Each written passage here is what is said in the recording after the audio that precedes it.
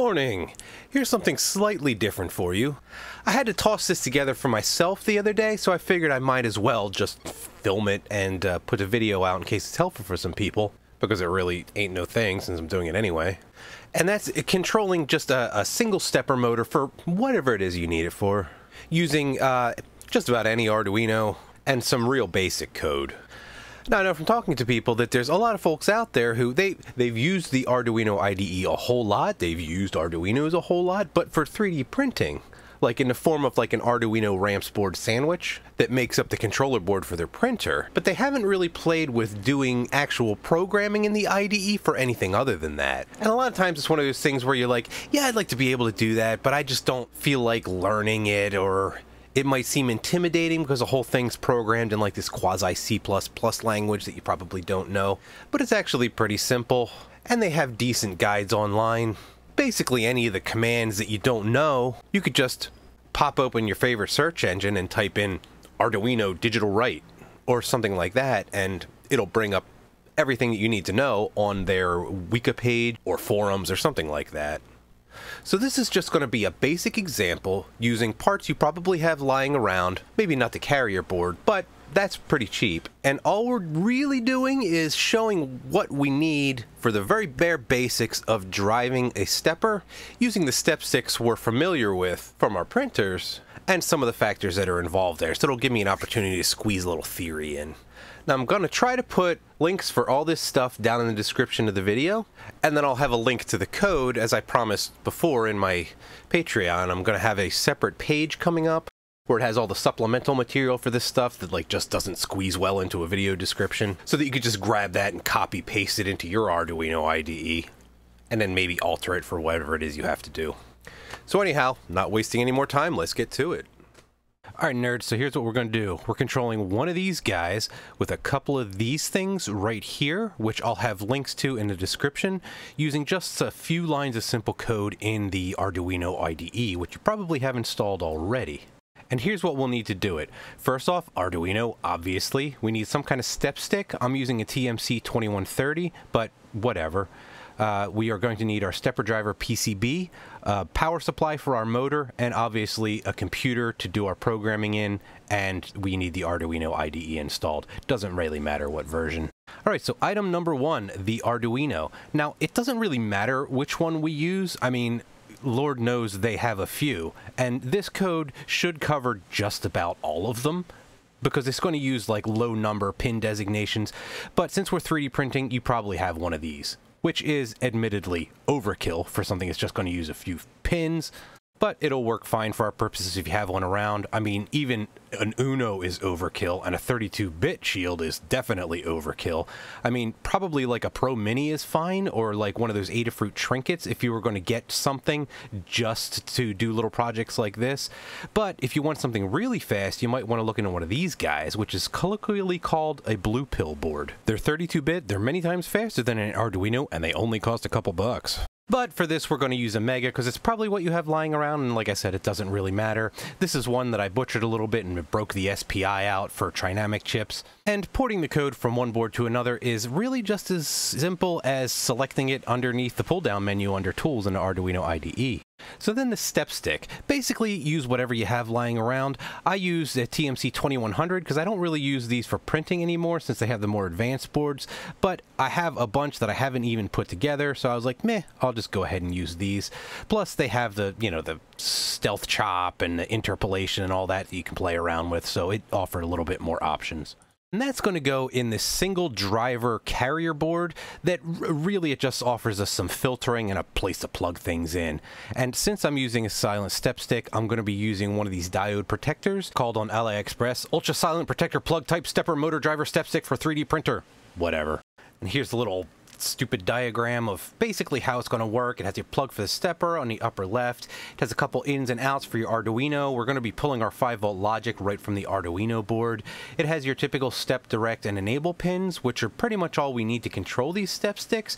And then the jumpers, instead of being actual jumpers, are these little dip switches on the left, and that's going to control your micro stepping and all that. And as you can see from the capacitor on the board, these will handle up to 50 volts motor voltage, which is good. Most step sticks have corresponding labeling on them, so it's pretty easy to plug them in properly. And just as a heads up, one problem that I ran into is they use a different plug for the steppers. So I just, you know, take a little razor blade and I pop this uh, four-part DuPont connector off of it and connect these pins directly to the board and insulate them with a little bit of tape so they don't short out to each other because those go on very nicely and they stay in there just fine. It's just that the uh, the black surrounding plastic won't let you do that. In terms of our power supply, we know that higher voltage is going to equal more torque, so I just grabbed this guy from the thrift store for like a dollar, and it'll handle 1.7 amps at 36 volts, and that's pretty good because our, our silent step stick, I think it'll handle up to 40 some volts, so it'll definitely do 36. And then I just do a little bit of surgery on the end here. Clip the, clip the barrel jack off that we don't need, and then carefully strip it back and then just plug it in real quick and test the ends of the leads with a multimeter just to make sure you don't swap your negative and your positive backwards and fry your whole action because, you know, that's bad. As we can see right here, it's putting out the proper 36-ish volts, so we're good to go. I know that the white is the positive. Now I'm just going to put some DuPont jumpers on here, a little bit of insulation on the ground so that doesn't short to anything. I'll put links to the, the crimper tool here, the crimps, the multimeter that I use, and all that nonsense in the description so you could uh, run to Amazon and grab them if you want. And then, like I said, we're just going to be powering a 5 volt off the Arduino, and that's just going to be powered off of USB. So now onto the exciting part, the software. Just go to uh, Arduino's website if you don't have it installed for whatever reason and download whatever IDE you need for your operating system. And this code's simple enough that it'll use older versions if you have an older operating system that won't work with the current version. And when you create a new project, it's going to look just like this, a blank slate. But here's the problem. What are we actually doing? Well, we're ostensibly just sending a pulse signal to our stepper, and we know that each pulse is going to make it rotate by one position. So we're going to be sending kind of a square wave-ish signal, and right here represents one wavelength. we have our high signal and we have our low signal, and each of those has to be assigned a duration. Now, step sticks have a particular on time that they need, and then a particular off time that they need, or at least that's the minimum that they need. And that'll be dictated by the settings on the actual step stick itself and whatever analog filters they may have coming into it. Essentially, we want to provide ourselves with a high signal and then a delay, and a low signal and then a delay for that as well. And then we have an additional delay that we could put at the end or just extend our low signal, and that's going to repeat over and over and over again. So that's all to say that our delays are going to dictate our minimum pulse time, that's our high time, and our minimum off time, and that's also going to determine the speed of our stepper. Now first we have to figure out if we want to rotate uh, in single rotations, what exactly that means. So we have a 1.8 degree stepper motor, which is 200 steps per rotation, so 200 pulses per rotation plus micro stepping. In my case, I'm using quarter stepping, so that's 800 steps per rotation now we just have to translate that into code. Now I want to use our classic contractor's pyramid to illustrate some of the challenges of coding. Now if at one peak we have clean, easy to read portable code, then we have fast running code, and then we have easy to write code, pick two. So if you want clean and easy, it's not going to run that fast. If uh, you want fast and easy, it's not going to be clean. And then if you want fast and clean, it's not going to be easy. So we are going to focus on clean and easy code. So we're not going to get like 100 megahertz speed out of this, but we're not going to need that because our stepper motor is probably going to run out of juice before that. First section we're going to add up the top is our definitions. And this is just going to take our um, pins and define the numbers as words that we can read to make it a little bit easier I'm going to call it step and direct. Uh, step is a thing, so I'm going to call it step P and direct P. And then the second part is our one-time setup. So this is going to run before it gets to our main loop, and this is going to like toggle our pins off and on and set what mode they are. So we want to set our step pin to output mode and our direct pin to output mode, and then we're going to digital write our direct pin high, so that'll send it spinning in a particular direction. And then make sure to leave notes for yourself always so that you know what this nonsense is if you go back and look for it. And then I always add a little delay at the end of a setup just because I'm paranoid like that. And now we have to make a loop. And you can use a for loop or a while loop. Uh, I'll just use a for loop because it's a little bit easier to wrap your head around. First thing we do is just say int, that's the package type, it's an integer, and we're going to say a, which is our variable, equals zero. And then this loop is going to take us one rotation of the stepper. So we know how many steps we're going to need. It's 800. So every time A is less than 800, you A plus plus. So you advance A. So it's going to count up, you know, 1, 2, 3, 4, 5, 6, 7, 8, 9, 10, blah, blah, blah, 800, and then start over again. And for each of those 800 cycles, we're going to take our uh, pin, our uh, step pin, and we're going to digital write our step pin high and then we're going to delay. So it's going to stay high for as many microseconds as we put here. Um, yeah, I just, just typed a thousand, but um, we're going to change these values later on. Then we're going to digital write our step pin low, and then after that, set a delay as well. So that's going to say our off time before we run the cycle again. And I forgot a semicolon because of course I did. Now let's just clean this up a little bit because it looks hideous optionally we can add a delay at the end of this for whatever reason. And then, like I said before, always make notes. So the two slashes that comments it out, so that's that's comment. It's just you telling yourself something in the code that's not going to compile into it, and that's important because future do future you doesn't know what the heck you were doing. So leave notes for yourself, like the delay here. Oh, maybe I'll tie that into a potentiometer. Maybe I won't. And then always check your work because as you can see right here, I forgot an enable pin, which means our stepper is never going to turn on. So in our loop, I just wrote a digital write to pin 2, which is going to be our enable, and pulled it low, which is what you need to do to turn your step stick on. Now, before any of you armchair quarterback nerds jump down my throat, I know, look, I know nerds, this is not the most efficient code. Remember, we're going for clean and easy, and it's not going to necessarily run fast. But I'm banking on the thought that it's probably going to run faster than our stepper can handle anyway because of the inductance. If you are trying to make it run stupid fast, there's a lot of ways to do it. You could use a hardware timer, you could optimize your data types, you could use direct port manipulation, you could pre-optimize by unrolling complex loops, you could use a pre-made fast library, etc., etc. But one optimization we will make is one that I think also makes for better clarity as well. And that's when you just put a little hashtag, define, and then the name of your pin, like enable pin, step pin, direct pin, and then the number of the pin. And that's for a couple reasons. The compiler should see that define and optimize it for whatever package is best or smallest or whatever it is you have your uh, compiler set for.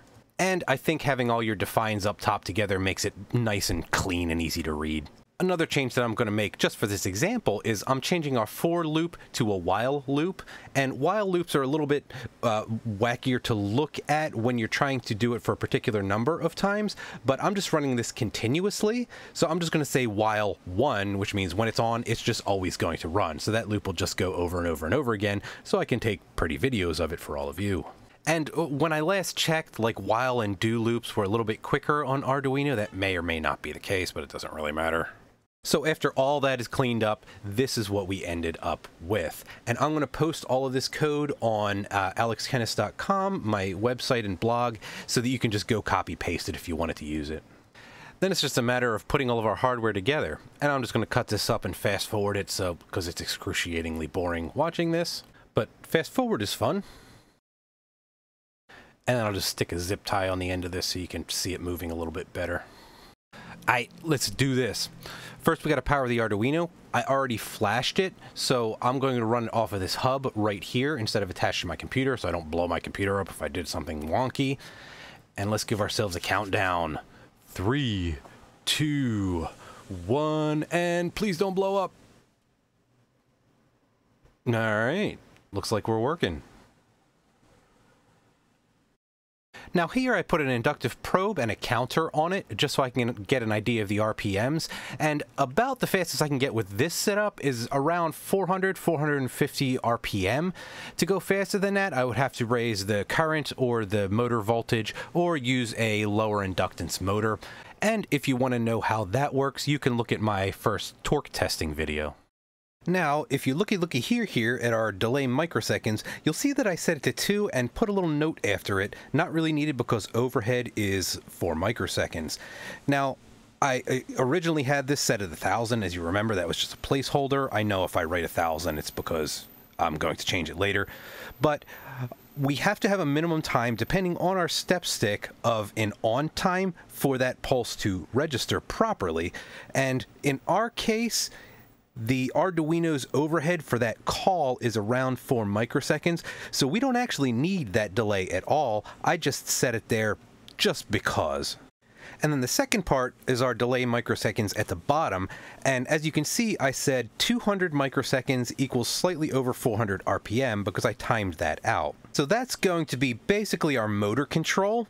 And I found that I can set this down as low as about 163 microseconds before the pulses go so fast that the stepper motor itself can't respond. And this is a nice simple way to test a stepper motor that you're going to use in a 3D printer because you can set this down, uh, do the math for the RPMs, and see what kind of speed you can expect before your motor just kind of farts out. So if you build this setup yourself and you uh, hit go and the motor just goes and it doesn't move or it twitches back and forth, you know you're going to have to make a longer delay microseconds time for your low signal. Thanks for sticking around. Hope that was helpful. If you have any questions, leave them in the comments below. I'd also appreciate it if you would check out my support links, because that's what makes this channel possible. And I'll be getting some more videos out real soon. So until then, get out there and make something awesome.